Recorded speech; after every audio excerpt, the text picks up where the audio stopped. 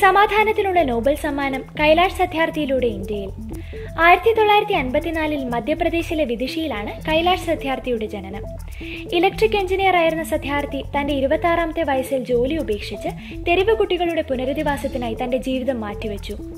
നിരവധി അന്താരാഷ്ട്ര പുരസ്കാരങ്ങൾ നേടിയ സത്യാർത്ഥിക്കും അദ്ദേഹത്തിന്റെ സംഘടനയ്ക്കും ഇന്ത്യയിൽ നിന്ന് പുരസ്കാരങ്ങളൊന്നും ലഭിച്ചിട്ടില്ല. Global march against child labour എന്ന അന്താരാഷ്ട്ര സംഘടനയുമായി ചേർന്ന് പ്രവർത്തിക്കുകയാണ് അദ്ദേഹവും അദ്ദേഹത്തിന്റെ സംഘടനയും. ശരിക്കും രക്ഷകൻ കുഞ്ഞുങ്ങളുടെ രക്ഷകൻ അതാണ് കൈലാഷ് സത്യാർത്ഥിയും അദ്ദേഹത്തിന്റെ സംഘടനയായ ബച്പൻ ബച്ചാവോ ആന്തോളനും. മദർ തെരേസയ്ക്ക് ശേഷം സമാധാനത്തിനുള്ള നോബൽ പുരസ്കാരം ഇന്ത്യൻ മണ്ണിലേക്ക് വീണ്ടും എത്തുകയാണ് ഇദ്ദേഹത്തിലൂടെ. ബാലവേല ഇല്ലാതാക്കുക കുട്ടികളെ കടത്തിക്കൊണ്ടുപോകുന്നത് തടയുക കുട്ടികളുടെ മറ്റ് അവകാശങ്ങൾ സംരക്ഷിക്കുക എന്നിവയാണ് സത്യാർത്ഥിയുടെയും അദ്ദേഹത്തിന്റെ സംഘടനയുടെയും ലക്ഷ്യം തന്നെ. ഇതുവരെ എൺപതിനായിരത്തിലധികം കുട്ടികളെ രക്ഷപ്പെടുത്തുകയും അവർക്ക് വിദ്യാഭ്യാസം നൽകുകയും ചെയ്തു.